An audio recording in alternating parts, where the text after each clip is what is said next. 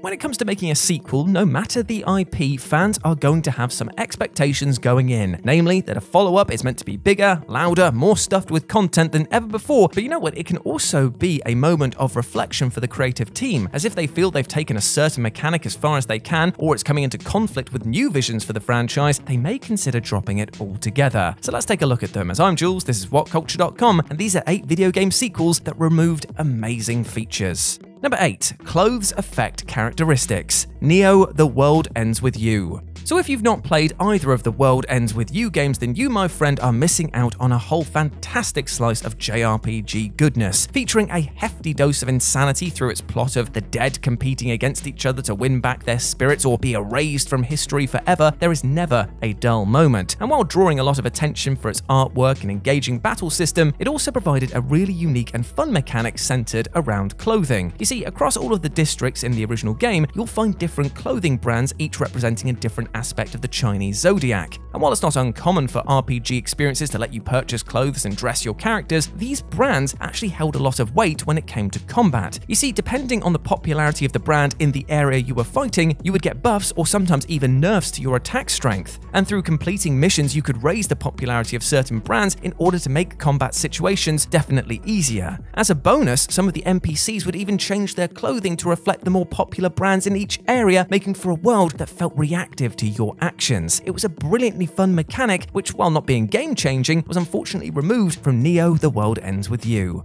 Number 7. Lack of career depth. EA Sports NASCAR. Okay, so I'll level with you. Of all the racing sports out there, the least interesting one to me personally has to be NASCAR. I get that people enjoy the speed and the endurance that it must take to compete in these races, but aside from that, it looks like the equivalent of pushing your Hot Wheels car around an oval track while really, really drunk people yell at you to crash. Still, when it comes to video game iterations of the sport, there are some absolute classics in the lineup, as fans of the NASCAR Thunder series would attest to. Here, alongside some pretty decent graphics for the time, players could create custom cars and burn more rubber than the Flash at an orgy all night long. Of note, the in-depth career modes for these games became something of a talking point, as with each passing year more and more emphasis was placed on taking your racer from rags to riches, building garages and rivalries as they went. Therefore, it was a bit of a shock when EA changed the franchise to EA Sports NASCAR and removed this feature all but entirely. Now fans were left with a much more bare bones affair, and it took a long old while to get anything close to this granular experience again.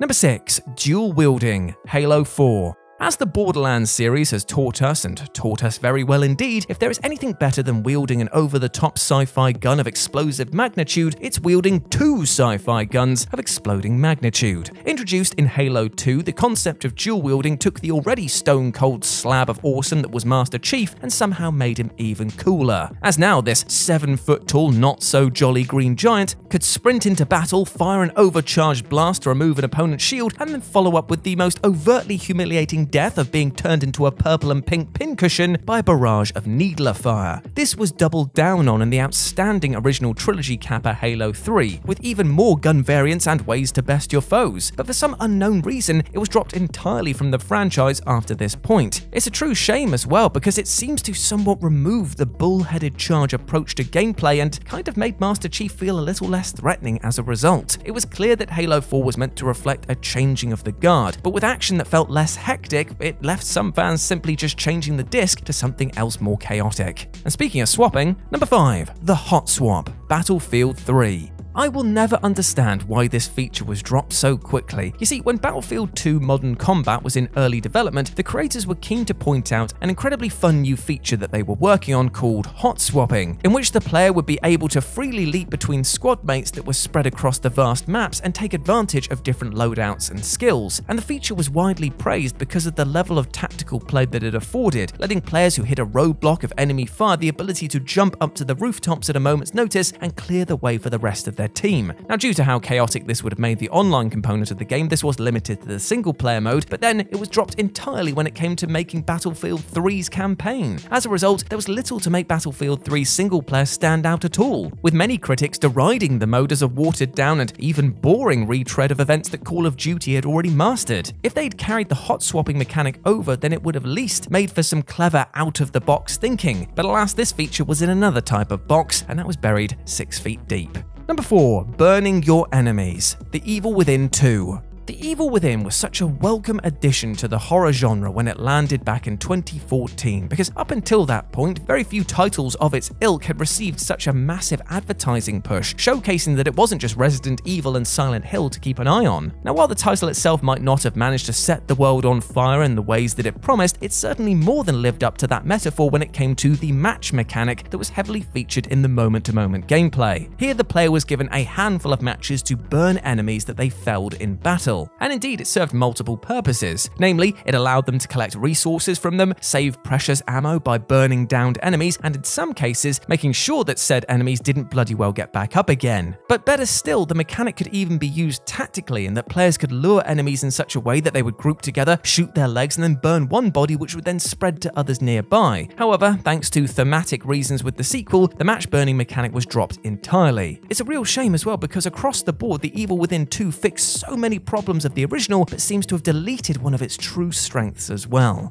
Number 3. The entire multiplayer mode Batman Arkham Knight. It's something of a personal gripe I have when I see video games arrive on the scene with multiplayer modes that nobody asked for in an effort to milk the lifespan of a certain title, and even more so when that online component turns out to be bloody brilliant and is then cut adrift from the series in a one and done affair. You need only look at the shock surprises of Mass Effect 3 and Bioshock 2 as examples of this, but while these examples have a somewhat reasonable excuse of the multiplayer not fitting thematically with their sequels, the multiplayer mode from Arkham Origins totally should have carried forward into Arkham Knight. Now, in fairness, the fact that these came from different developers was clearly a reason why the feature was dropped, but when you look at the premium amount of fun that players were having with this mode, it was insane to not even try to include it. Hell, it would have broken up the arduous grind that were all of the Batmobile sections in the single player mode at least. Number 2. Cheating in Poker Red Dead Redemption 2. When it comes to talking about sequels that removed features, I bet you hands down that nobody expected the phenomenal Red Dead Redemption 2 to have made the list, seeing as this behemoth of a title pretty much threw everything at the wall so hard in fact that it punched through to your bloody living room. Rather ironically though, you both lose that bet and actually feel cheated somewhat by having the ability to cheat in poker removed from Red Dead Redemption 2. In the original, John Marston would need to wear the elegant suit in order to sneak some extra cards up his sleeve, and it could make for some truly truly entertaining moments as you either swindled others out of the pot or got caught and were forced to fight for your life in deadly duels. But for some reason or another, this feature was removed from the almighty sequel, possibly making it the one gimmick that wasn't lifted from and improved on. Maybe Rockstar was worried that it would make generating money too easy. Or maybe they wanted Arthur to draw the line at conning people out of money. It's a bit of a strange line to draw, but who knows? Either way, fans felt that they were sent down the river as the devs folded on this feature. And number one, the fart button. Oddworld Soulstorm. Now, let it be known, I am a very simple man, and if a game lets me do something completely and utterly useless over and over by pressing a button, you best believe I'm going to hammer that feature into the ground. From twirling my lightsabers in Knights of the Old Republic to the cutesy cursing you could do in Overcooked, and of course, all of the games that let you pet pixelated creatures, if you provide me with a button to do otherwise pointless things, I'm going to let it rip. And speaking of letting rip, the Oddworld games have all featured flatulence pretty heavily in the past, even going so far far as to let players possess a fart in Abe's Exodus, yet for some reason the dev team of Soulstorm took their foot off the gas as it were as they removed the fart button. I can't express how gutted I was not to toot the bum horn of justice as Abe, and I clearly wasn't the only one because forums were flooded with frustrated fart fans, and it was just a matter of hours before a mod had dropped allowing Abe to parp with pride. Why they removed this feature is beyond me, but it was enough to give the fandom a shart attack, so don't do this again, please.